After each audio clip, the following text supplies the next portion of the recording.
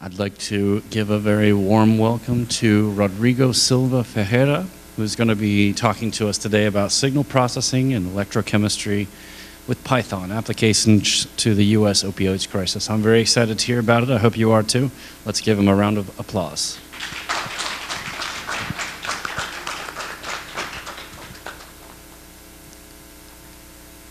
Hi everyone, good afternoon, first of all.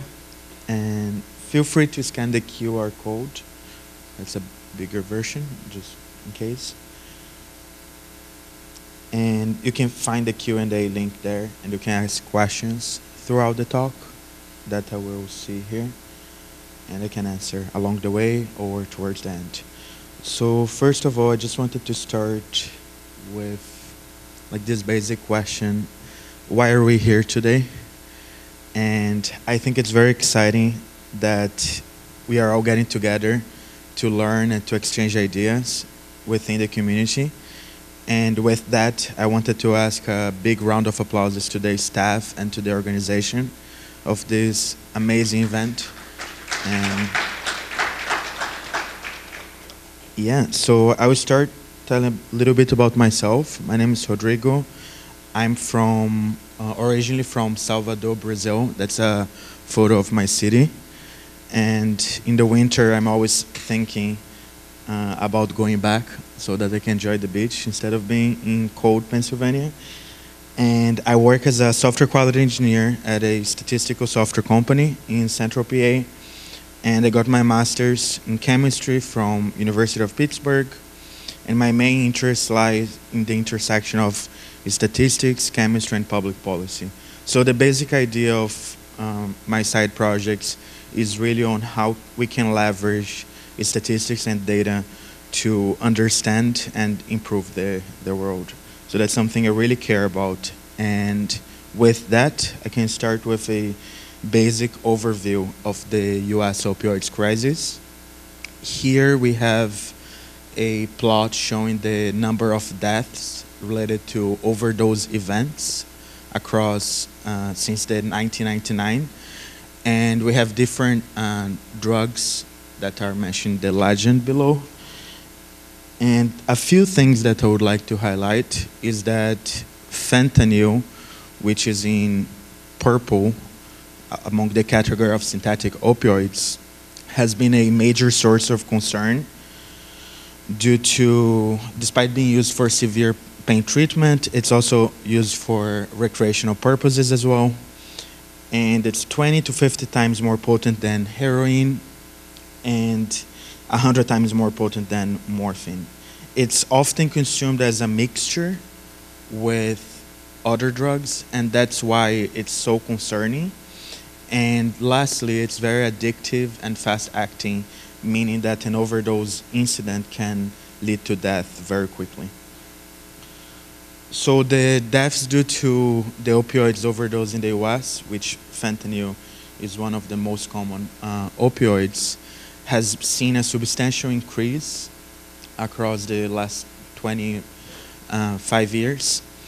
And as of 2021, the average is 195 daily deaths in the United States due to synthetic opioids in general.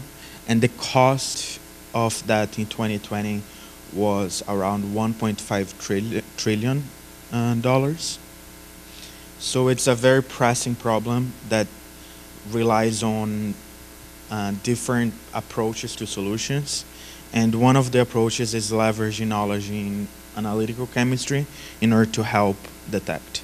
And with that, I'll just introduce the fentanyl molecule in the middle and one of the main challenges to detect fentanyl is that you can have a variety of analogs, which is essentially when you change uh, functional groups that are part of the molecule in order to obtain other drugs.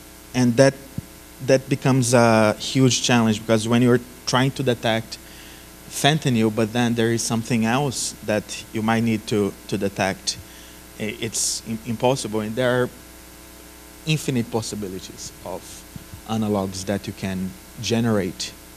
And also in terms of the metabolites, those are also sometimes analogs like norfentanyl, for example, which is the end result after fentanyl gets metabolized in the body and so on. So we can target fentanyl analogs as well as metabolites in the process. So just to have a reference point here, we have this figure showing the lethal uh, doses of opioids. Like you can see the amount of heroin that would be considered lethal, along with fentanyl, which one to two milligrams would already be, be lethal. And you can see the amount there comparing with a coin. I think it's a penny, yeah. And some analogs like carfentanil, for example, the lethal dose is even lower. It's you can literally just ingest by accident even. So it's a really pressing concern, especially with the emergence of fentanyl being mixed with other drugs. So here we have this table showing the fentanyl in the Ohio uh, drug supply. You can see here that fentanyl is often found mixed with um, heroin 96.6% of the time uh, in heroin samples. There can be uh, fentanyl uh, with that. And as a result, there are a lot of accidental uh, overdose incidents with fentanyl among users of other other drugs. And in terms of the, now we get to the point, okay, how we can detect this. In terms of the current methods of detection, we have the centralized methods, which are lab-based methods such as uh, HPLC, GCMS, that are expensive and we cannot do on-site detection uh, of fentanyl and the analogs. So that's more like lab analysis. You need a lot of equipment, and resources to do so. And then we have the decentralized methods, which are inexpensive, portable, however, they lack specificity and the limits of detection are not low enough to detect tiny amounts. So, yeah, so th those are two examples. One is a fentanyl reagent that in the presence of fentanyl it changes uh, color, and the other one is those uh, test strips that are often distributed as in, in harm prevention uh, programs that you can insert in a, a, liquid that would contain fentanyl and you can detect it. Even in, in, in urine, it, uh, it could work. Yeah. And then there's an opportunity with electrochemical biosensors, which leverage the uh, specificity and the low sensitivity in order to target uh, fentanyl. And there has been a lot of advancements in this space. There are some papers, for example, on flexible wearable electrochemical sensors that could be used to detect fentanyl for first responders. For example, here we have an example in a glove, sen sensor in a sensing glove, essentially.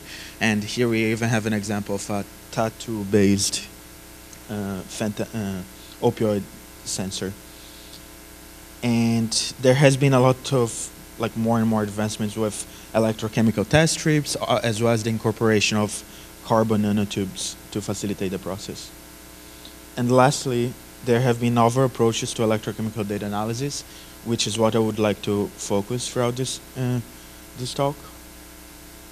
And there are different, just as, uh, as some context, there are different types of electrochemical data that can be obtained by different techniques. Here I'm going to focus on cyclic voltammetry specifically. And just as a basic background for cyclic voltammetry, and that's the expectation of every electrochemistry when it comes to cyclic voltammetry is to obtain a duck-shaped signal showing the peak, which can help indicate the concentrate the presence and the concentration of the target uh, substance. So behind this duck-shaped peak, there is a lot of insights that can be obtained um, based on the current versus potential plots. You can obtain based on the peak size, the shift in the potential. You can obtain concentrations, the composition of the mixture, and all of that. So cyclic voltammetry can be really helpful in the context of uh, opioids detection. So that's the expectation, everything uh, perfect. You can detect the, the peaks the, in the redox reactions and you can get insights about what is happening in that, um, in that sample.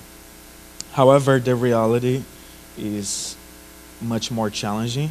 Of course, sometimes you might get noise signals due to uh, interference with other substances, for example, which is often the case in drug samples.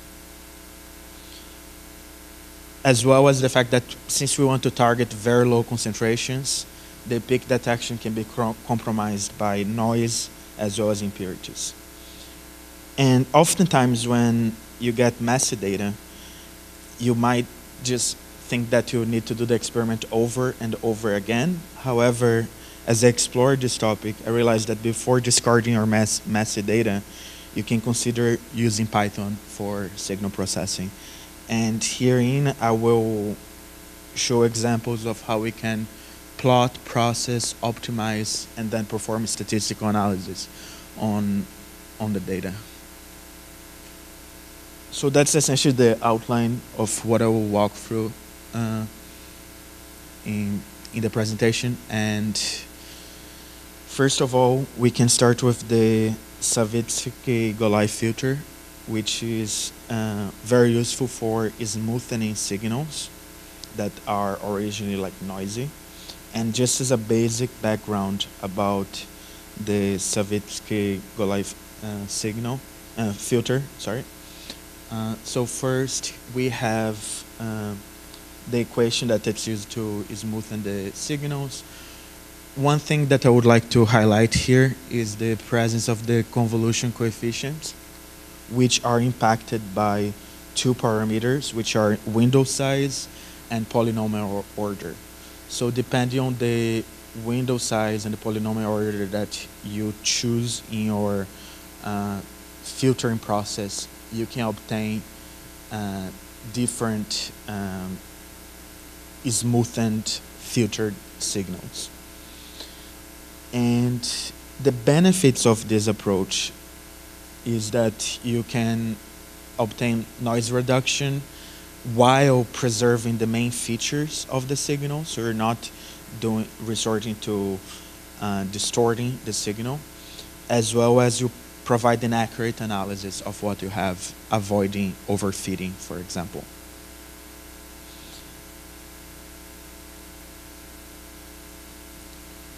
So I will show what I did with my uh, Python scripts in order to smoothen a generated uh, noisy signal.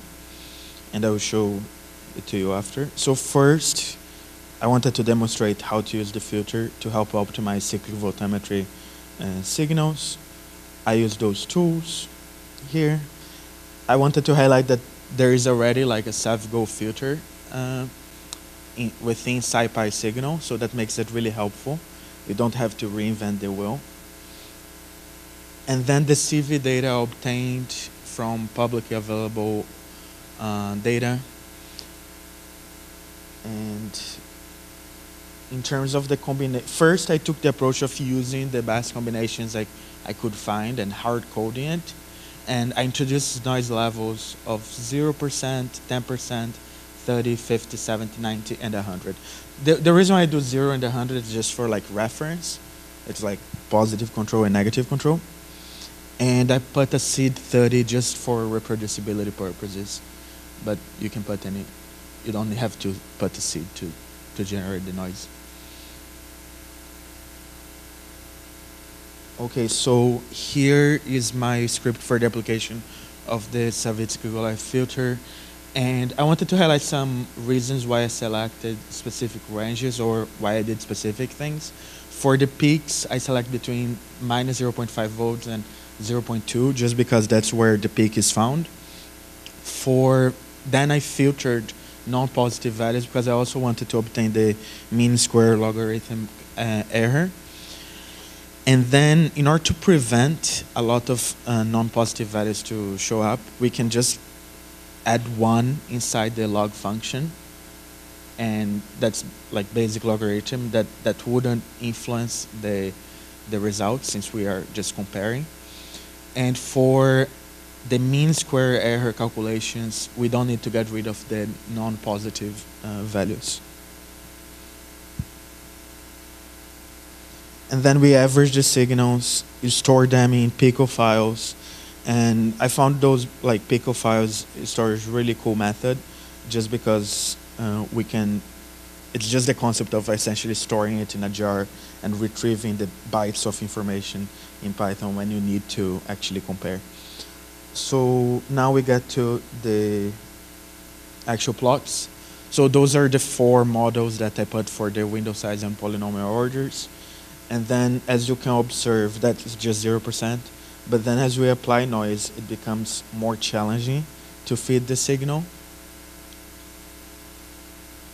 And then we keep going 30%, which is a lot, 50%, 70, 90, and then 100.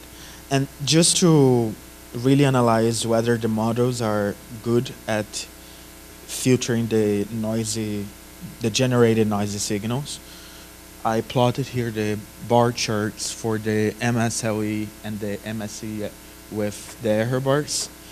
And what we can essentially he see here after performing one-way ANOVA uh, is that there's no statistically significance and different difference among the four models, showing that the four are really like good, um, more or less equally. So then I went to a second approach, which is implementing hyperparameter optimization to search for the best um, values for my different, uh, my two different variables. And to do that, I, it used this tree structured uh, Parzen estimator approach, which is essentially as if you're going through a tree and based on the algorithm, it can choose the best branch and sub-branches to go through instead of doing a search acro across all search space or me having to guess the best values. Uh, libraries like HyperOPT can help to really optimize the, ser the search and to select the best values.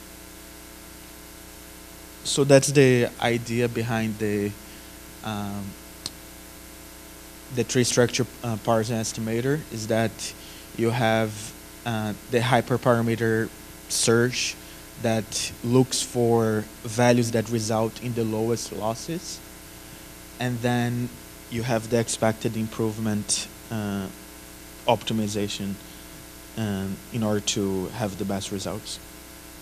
So that was, that's the theory behind what I did. And for the HyperOPT, I used only 20 trials, which is really low. And my the curiosity behind that was to understand whether there was a difference between the best results that I had uh, hard coded before versus the approach with Hyper uh, OPT. And again, stored in the pickle jar. And those are the plots. Just go through them quickly and then we get to the results again. Comparing the uh, p values again, we see that among the four models, there is no statistically significant difference. And then I went to my script number three, which I wanted to know, okay, was there a difference between the two approaches, like hard coding the best values versus doing the hyper OPT search. So that's time for like actually making the pickle juice, which is the statistical analysis. And that's the output that, that I got. And there is essentially no statistically significant difference between the two sets of average MSL, MSLEs and MSEs as well. So the conclusion is that we have three ways to approach optimization we can guess values that yield lowest average errors, which is difficult, of course. We can conduct trials across all the search space, which can be a waste of computing resources and, and time, depending on the situation. Or we can use HyperOPT to optimize guesses, which again depends on the context. In some contexts, it's not really necessary to do that. You could just go through all the search space. And in others, it can be really helpful. Yeah. And then another approach that you can extract more information from um, from your noisy CV signals is with discrete Fourier transformation. That's just some like of the theory, and I want to highlight the amplitude spectrum for uh, the for each frequency component and how it can be helpful, and I'll show later. The main advantage is the ability to decompose mixed signals. So let's say if you have different drugs mixed in a sample, you, you could be able to decompose the signals using Fourier transform. So that's what I did with my script. Those are the different steps. And yeah. So again, those libraries already exist and it's really handy to apply to what your needs are. So finally, I want to show here the two signals. In green, we have the original cyclovoltammeter data. In red, we have an example of an interfering substance that uh, I generated. And then in blue, we have the combined signal. So usually if you have a sample and you run a CV experiment, you would only get the blue, blue signal, and it would be really difficult to decompose it. How, However, you can have standards of the two other substances that resulted into the blue signal, and you can use those standards and their chemical signatures to um, to determine if there is something else in the mixture. So once we uh, decompose using the Fourier transform, you can see that between the fourth and sixth uh, uh, harmonics, like specifically at 5, we can see that there is a difference between the three signals. In red for the interference substance, in green for the uh, original substance, and in blue for the mixture itself. So by tracking those difference between a bunch of different substances, it could be very helpful in the context of electrochemical detection of drugs. And finally, I'll go on to discrete wavelet transform and how it can also be useful for noisy signals. And what I want to emphasize here is that for wavelet transform, you can have approximation and detailed coefficients. So I like to think of it like a hand that for the approximation, you're just looking at the general shape of the hand whereas for the um, detailed coefficients, you're actually looking at the lines that you have in the palm and so on.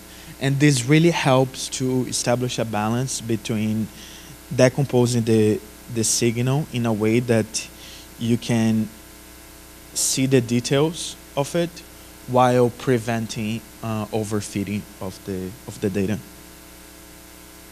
So you can obtain the detailed coefficients like through the high frequencies, as well as the approximation coefficients through the uh, low frequencies. So yeah, and for the for the script itself, that's how how I did it. Some screenshots and. I use DB4, which is useful due to the uh, comp compact support, first of all. That's a type of wavelet uh, analysis and it's useful because outside of the finite interval of your data, it's uh, zero uh, essentially, so it doesn't mess up with the analysis. It's also useful due to the ortho orthogonality because it allows to reconstruct the signal without overlapping in the frequency domain. And finally, it has uh, four vanishing moments. That's why it's called DB4, meaning it's able to capture details of your uh, rec recomposed signal up to degree three of the signal. So I'll just show here that that's applying noise essentially to the original signal. And then I'll jump to 10%. We can see here that for, let me zoom, zoom in a little bit. like we can see here that for each uh, noise signal, we, we, we get within each level, one, two, three, four of the coefficients, we get a reconstructed uh, plot that resembles, up to a certain level, resembles the plot of the original signal. So that's another approach to really reconstruct uh, messy uh, signals. But again, it only goes up to a certain extent. At some point, you reach the limit in which you can no longer accurately reconstruct your signal. And the, the more you go, the more like challenging it becomes to reconstruct and uh, messy essentially. So at 100%, it's almost impossible to reconstruct any signal.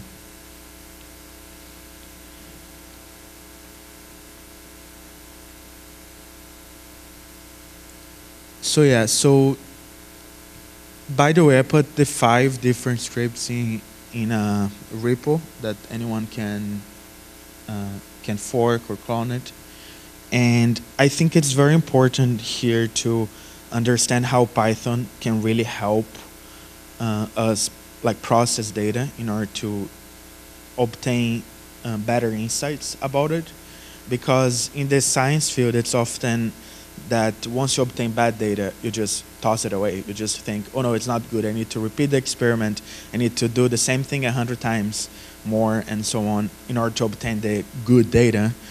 But in reality, even with messy data, we can really obtain a lot of information that can be helpful for future detection of those uh, of those substances. And I will share finally the key takeaway takeaways of my talk. So here we went through different signal processing techniques, starting with the Savitzky-Golay filter, which is useful for filtering and smoothing uh, noisy data. Then we talked about Fourier transform, which can be helpful in the scenario of interference substances and how we can extract more information in order to distinguish them based on the different chemical signatures. And finally, we went over wavelet transform, which really has the potential to uh, dissect uh, noisy data into different levels, allowing matching with the, uh, in my case, allowing matching with the original signal and so on. So if you have, if you, in the future, if you you start extracting more information and establishing some sort of database with standard substances, it can become easier in the process of the, the development of electrochemical sensors geared towards opioids, for example. And that's why this is uh, relevant in electrochemistry because it enables enhanced data processing, which is useful for getting more information out of massive signals and this can be useful in the, in the detection of, of opioids due to the need for high sensitivity due to the low, uh, low lethal doses, for example. So we really want to make very sensitive uh, electrochemical sensors, as well as due to the need for selectivity, because we want to distinguish between substances um, opioids, fentanyl, analogs, a bunch of substances that can be found together. We want to be able to distinguish between them.